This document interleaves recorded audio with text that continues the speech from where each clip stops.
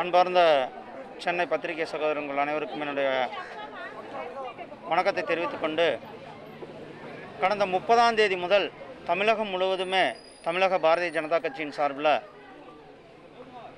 பிரதமர் அவர்களுடைய ஏழு ஆண்டுகள் முடிந்து மத்திய அரசாங்கம் ஆரம்பித்து இது ரெண்டாவது டைமில் எட்டாவது ஆண்டு அடியெடுத்து வைக்கின்ற கொரோனா காலம் என்பதனால் சேவை செய்ய வேண்டும் மக்களுக்கு சேவை ஆற்ற வேண்டும் என்று முப்பதாம் தேதியிலிருந்து பல்வேறு பகுதிகளில் தமிழ்நாடு முழுவதுமே எங்களுடைய சேவை அதாவது ஏழை எளிய மக்களுக்கு உணவு கொடுக்கறது. அதே போல் ரேஷன் பொருட்கள் கொடுப்பது முகக்கவசங்கள் கொடுப்பது சானிடைசர்ஸ் கொடுப்பது தடுப்பூசி முகாம்கள் நடத்துவது இரத்த தான முகாம்களை நடத்துவது. இவ்- ஆஹ், கொரோனானால் பாதிக்கப்பட்டிருக்கிறாங்கன்னா அவர்களுக்கு மருத்துவ வசதி ஆக்சிஜன் தேவைப்படுபவர்களுக்கு ஆக்சிஜன் வசதி மருந்து வசதிகள் இப்படி தேவையான உதவிகளை தொடர்ந்து நாங்கள் செய்து கொண்டிருக்கின்றோம். கிழக்கு மாவட்டத்தின் சார்பில் ஆயிரம் விளக்கு பகுதியில் இந்த நிகழ்ச்சியை எங்களுடைய மாவட்ட தலைவர்கள் ஏற்பாடு செய்தார். இன்றைக்கு ஏழை எளிய மக்களுக்கு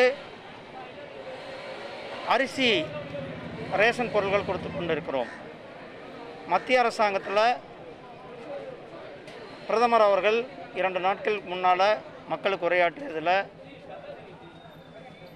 வருகிற தீபாவளி வரலுமே அதாவது நவம்பர் மாதம் வரலுமே இலவசமாக ரேஷன் பொருட்கள் வழங்கப்படும் என்பதை அறிவித்திருக்கிறார்கள். ஏற்கனவே முதல் அலையில் நவம்பர் வரலுமே கொடுக்கப்பட்டது. இப்போ அது தொடர்ந்து இந்த நவம்பர் வரலும் கொடுப்பதற்கான அறிவிப்பு வெளியிடப்பட்டிருக்கிறது.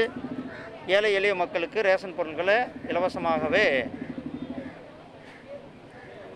ரேஷனில் கொடுக்க போகிறாங்க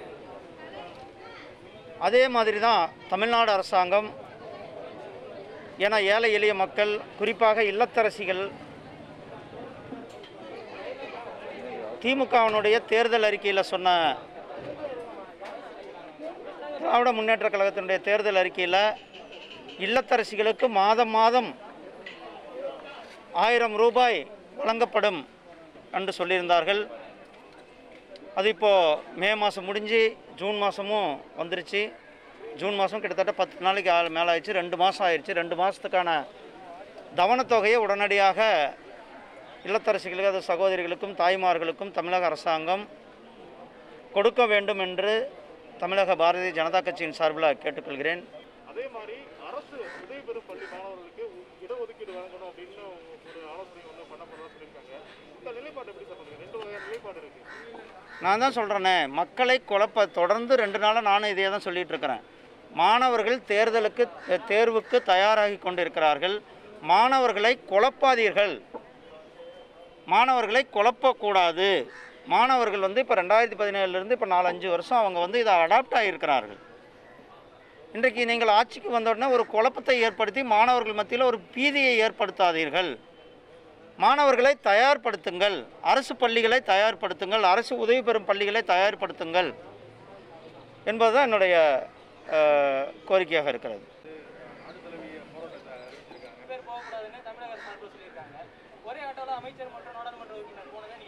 அவங்க மேலே நடவடிக்கை எடுக்கணும் சட்டப்படியான என்பது தான் என்னுடைய இது ஏன்னா பேண்டமிக் ஆ? அதாவது அவர்கள் வந்து தேவைக்காக போயிருந்தார்களும் கூட அமைச்சர்கள் சட்டத்தை பால கடைபிடிக்க வேண்டியவர்கள் அவர்கள் வந்து சட்டத்தை கடைபிடித்து அது போயிருந்தால் சரியானது. அவர்கள் விதியை மீறி போயிருந்தால் அவர்கள் மேலே நடவடிக்கை எடுக்கணும் காவல்துறை. ஏங்க தெளிவாக மத்திய அரசாங்கம் சொல்லுது. பெட்ரோல் டீசலை வந்து ஜிஎஸ்டிக்குள்ளே கொண்டு வாங்க அப்படின்ட்டு. காங்கிரஸினுடைய முதலமைச்சர்களும் தான் இதை தொடர்ந்து எதிர்க்கிறார்கள். நம்மளுடைய தமிழ்நாட்டில் கூட நம்மளுடைய தமிழ்நாடு அரசாங்கமும் எதிர்க்குதாங்க. ஜிஎஸ்டியில் கொண்டு வர வேண்டான்ட்டு. அதே மாதிரி தான் இந்த தமிழ்நாடு அரசாங்கம் நம்மளுடைய தேர்தல் திமுகவுடைய தேர்தல் அறிக்கையில் நாங்கள் ஆட்சிக்கு வந்தால் நாலு ரூபாய் பெட்ரோல் விலை குறைக்கிறதுக்கு நடவடிக்கை எடுக்கிறாங்கன்னாங்க. அவங்க இது இன்னைக்கு வரலும் நடவடிக்கை எடுக்கலையே.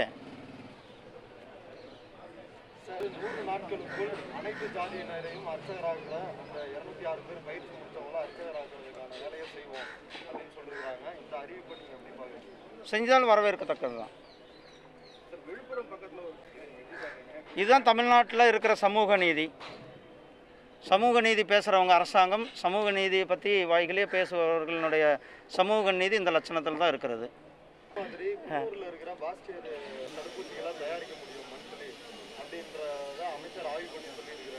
தடுப்பூசி உற்பத்தியை ஏன் வந்து அரசே ஏற்று செய்யக்கூடாது? அதுக்கு ஏன் அனுமதி அளிக்கக்கூடாது மத்திய அரசு? அதாவது இது வந்து மத்திய அரசாங்கத்துக்கிட்ட கேட்க வேண்டிய கேள்வி ஒன்று இரண்டாவது வந்து சொல்கிறேன் சொல்கிறேன்ப்பா சொல்கிறேன்ப்பா அரசாங்க அதிகாரிகள் சொல்ல வேண்டிய பதில் இது. ரெண்டாவது நான் சொல்ல வர்றதுக்குள்ளே இப்போ ரெண்டாவது குன்னூரில் செங்கல்பட்டில் கொரோனா தடுப்பூசி தயாரிக்கிறதுக்கான வசதிகள் இருக்கிறதா? அதற்காக அந்த லேபுகள் வடிவமைக்கப்பட்டிருக்கிறதா என்பதெல்லாம் பார்க்க வேண்டியிருக்கிறது. நன்றி. அதுதான்ப்பா அதுக்கான வசதிகள் வந்து அதுதான்ப்பா செய்யணுமா செய்யக்கூடாது என்பதை ஆராய்ச்சியாளர்கள் தானே சொல்லணும். பா சிதம்பரத்துக்கு இதை தவிர வேறு என்ன சொல்ல தெரியும்? முதல் முதல்ல தடுப்பூசியை பற்றின ஒரு பயத்தை உருவாக்கியது யார்? ராகுல் காந்தி. தடுப்பூசி போட வந்த மக்களை தடுத்து அவர்களின் மேலே குழப்பத்தை ஏற்படுத்தியது ராகுல் காந்தியும் நம்மளுடைய முதலமைச்சர் இப்போதைய முதலமைச்சர் திரு ஸ்டாலின் அவர்களும் தான். இப்படி ஒரு மிகப்பெரிய குழப்பத்தை ஏற்படுத்தி மக்கள் மத்தியில் தடுப்பூசி போட வேண்டிய வந்தவங்களெல்லாம் த- தடுத்து நிறுத்தினார்கள். ஒரு பயத்தை உருவாக்குனாங்க. திடீர்னு இரண்டாம் அலை வந்தோடனே அத்தனை பேரும் தடுப்பூசிக்கு வந்தால் தடுப்பூசியினுடைய உற்பத்தி பெருக்கி கொண்டு தான் இருக்கிறோம். தேவையான தடுப்பூசிகள் கொடுக்கப்பட்டு தான் இருக்கிறது. இதுக்கும் இலவசமாக நம்ம கொடுக்குறோன்னு சொல்லியாச்சு. கொடுத்துருவோம். ஆனால் வசதிகள். அதுக்கான டெக்னாலஜி உங்களுக்கும் தெரியாது எனக்கும் தெரியாது. அதை வந்து க- சொல்ல வேண்டியது விஞ்ஞானிகள் சொல்லணும். த- தடுப்பூசி கண்டுபிடிக்கிற ஆராய்ச்சியாளர்கள் தான் அதை பற்றி சொல்லணும். இசை ஜனநாயக தொடர்ந்து கொண்டு தானே இருக்கிறது